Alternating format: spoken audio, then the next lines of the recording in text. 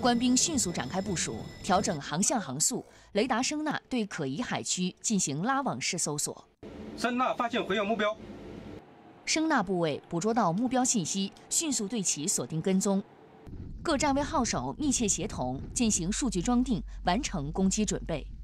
虽然我们不能与自己的家人团聚，共度佳节，但是我们在海防前线值班站岗，就是为了给更多的家庭守护好这份安宁，守护好这份团聚。